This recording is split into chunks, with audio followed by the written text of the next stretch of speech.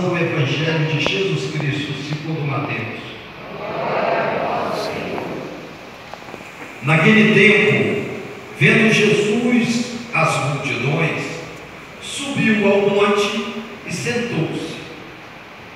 Os discípulos aproximaram-se e Jesus começou a ensiná-los.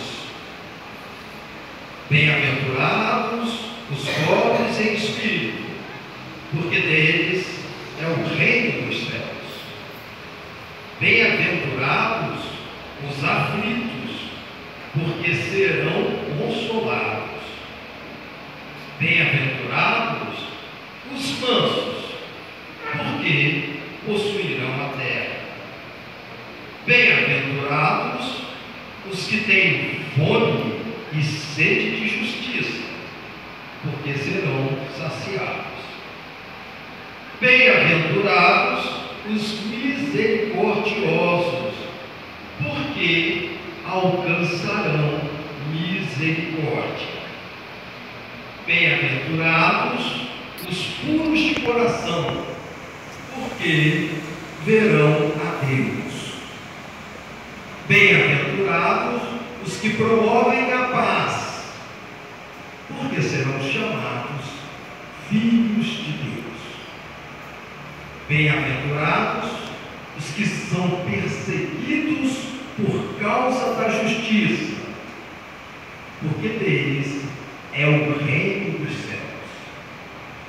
Bem-aventurados sois vós, quando vos injuriarem e perseguirem, e, mentindo, disserem todo tipo de mal contra vós, por causa de mim.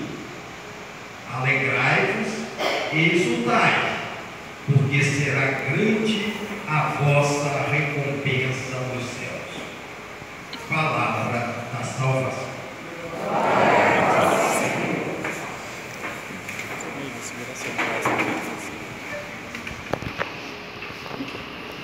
Irmãos, amada igreja, a igreja celebra hoje a festa de todos os santos. Na verdade, no nosso calendário, a festa de todos os santos, ela acontece no dia 1 de novembro. Mas como não é um feriado, a igreja transporta a de todos os santos para o primeiro domingo. E com isso nós estamos hoje tendo esta celebração. Alguns cristãos não aceitam os santos. Infelizmente, isso é uma verdade que ocorre nas nossas vidas. Alguns cristãos não aceitam que a Igreja Católica tenha os seus santos. E com isso começam a criticar, tecer comentários, inclusive maldosos, contra aquela atitude de nós católicos de considerarmos pessoas santas, pessoas que pelas suas virtudes, pela sua trajetória de vida, essas pessoas galgaram essa posição de santidade.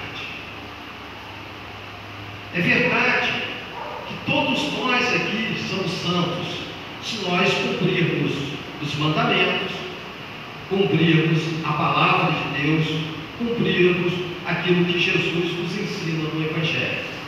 Seremos santos.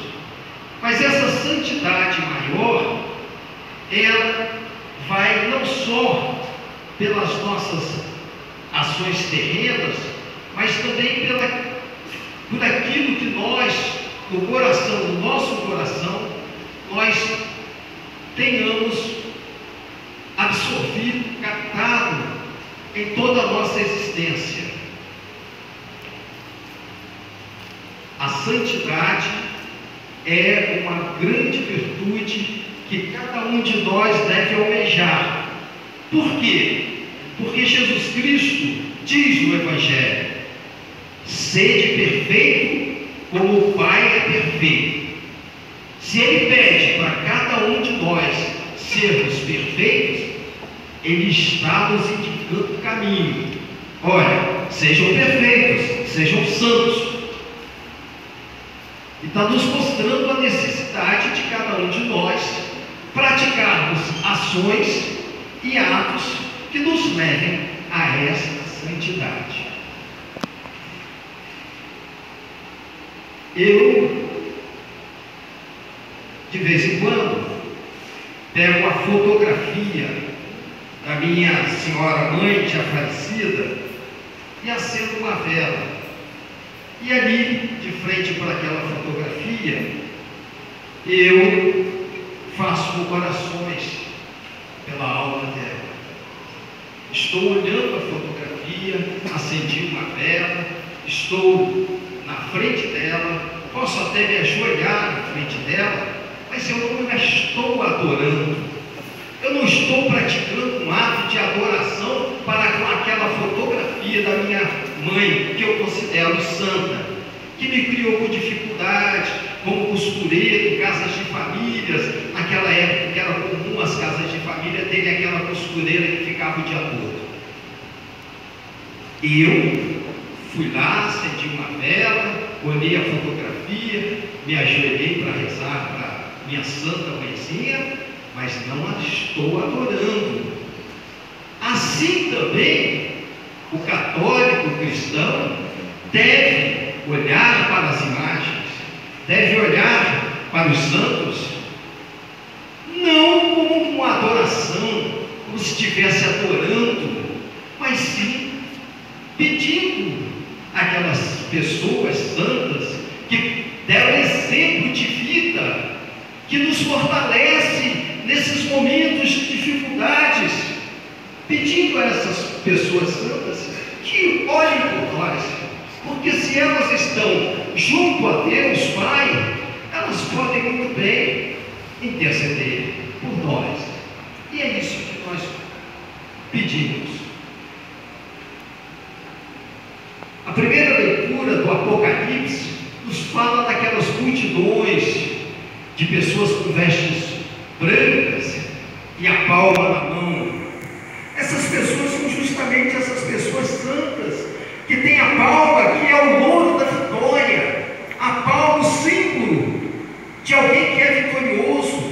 E essas pessoas de vestes brancas são efetivamente aquelas pessoas que estão junto a Deus. E isso nos deixa claro a leitura do Apocalipse. O que podemos analisar do Evangelho. O Evangelho é o Evangelho das bem-aventuranças. A palavra bem-aventurados não soa assim uma palavra diferente. Muitas pessoas dizem, ah, bem-aventurados, significa isso? É muito simples. De uma forma bem clara, Jesus está nos dizendo: felizes, felizes são os pobres de espírito, felizes são aquelas pessoas, os mansos, os mansos humildes de coração, felizes são essas pessoas. A palavra bem-aventurados significa felizes. E aí, nesta festa de todos os santos, quando a igreja coloca o Evangelho das Bem-aventuranças, a igreja quer nos mostrar qual é o caminho que devemos seguir para chegarmos à santidade. Bem-aventurados os pobres de espírito, bem-aventurados misericordiosos, aquele que tem, aqueles que têm misericórdia, bem-aventurados os mansos, humildes. Felizes são essas pessoas. Essas pessoas te procuram pela sua vivência chegar a um certo patamar, a um certo lugar de destaque com a sua vivência de santidade, sendo pessoas puras que praticam o bem. As bem-aventuranças nos mostram a possibilidade que tem cada um de nós de chegarmos também à nossa santidade. É difícil, é difícil. Às vezes somos levados por momentos de ira, momentos de raiva. Às vezes estamos tomados por certas situações que nos levam à depressão, à fadiga, a gritarmos com outra pessoa. Mas devemos, acima de tudo, procurar vivermos em santidade. Quando vemos uma pessoa idosa e falamos assim, aquela é uma Santa Senhora, o que, que estamos identificando ali? Estamos identificando uma pessoa que tem uma vivência na prática do bem. E com isso, essa pessoa nos leva a denominá-la de santa. Quando falamos, olha, aquele casal é um casal santo. Casal santo significa que um casal que pratica o bem, que outro, porque acima de tudo, a santidade de um casal está justamente no respeito de um pelo outro, e esse é o principal ponto a considerarmos. A necessidade de nós também estarmos preparados a respeitar, a amar o nosso irmão, a amar as pessoas que estão próximas de nós e que nós possamos praticar o bem dentro das nossas condições, das nossas possibilidades, praticar o bem para que possamos, acima de tudo, galgar essa santidade que Jesus prega no Evangelho. Pobres de espírito. O que seriam os pobres de espírito? O que seriam essas pessoas pobres de espírito? Nós encontramos muito disso na nossa vida prática. Muitas pessoas que têm aquela pobreza no falar, no se dirigir às outras pessoas, que não mostram de forma alguma uma forma mais objetiva, mais clara de enaltecer, de agradar, de respeitar o próximo. E sem o respeito, elas procuram diminuir, desqualificar, humilhar o irmão. E com isso, humilhando, desqualificando, falando mal, essas pessoas estão praticando um ato totalmente contrário àquilo que Jesus está pregando. O amor, acima de tudo, é fundamental.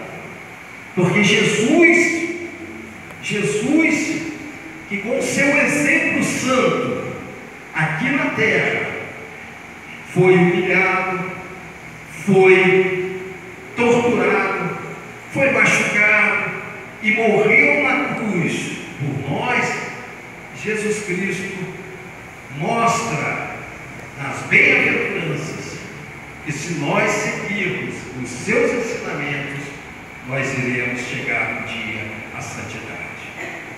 A igreja registra algumas pessoas que são santas. Agora mesmo o Papa beatificou, santificou várias pessoas pelos exemplos que elas deixaram. Mas muitos de nossos parentes, e nós sabemos disso, são pessoas santas também. São pessoas que estão lá junto a Deus, estão lá tendo esse processo que foi abordado na primeira leitura. São aquelas pessoas de veste branca, com a palma da vitória na mão, junto a Deus. Vai. Sejamos todos imbuídos de um propósito.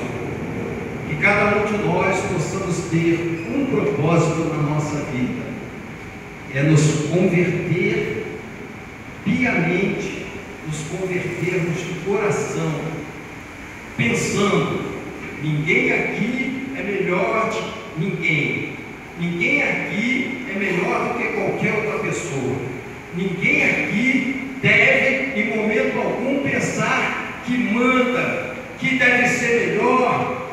Ninguém deve pensar isso. Tem que ser puro de coração. Pensar, somos todos irmãos, estamos juntos nessa nossa caminhada. Se o meu irmão precisa de mim, eu tenho que me colocar à disposição para ajudá-los. Não vou deixar a inveja, o ciúme suplantar a minha forma de procurar ajudar o meu irmão. Assim, praticando bem, sendo misericordiosos, tendo acima de tudo essa vontade de ajudarmos o irmão, estarmos juntos na caminhada, nós chegamos sim à nossa santidade. Somos pecadores? Somos sim. Todos nós reconhecemos que somos pecadores, que talvez não, se, não possamos chegar a, a um dia a termos a glória de estarmos junto do Pai. Mas vamos lutar para isso. Vamos nos empenharmos em termos um exemplo de vida que nos possa levar a essa santidade almejada. Vamos lutarmos para que cada um de nós possamos, com a nossa vivência, com a nossa vida, possamos dar o nosso testemunho de que Cristo, quando aqui esteve, pregou o amor, e é o amor que deve suplantar qualquer uma das nossas atitudes. O amor é fundamental para que sejamos santos e possamos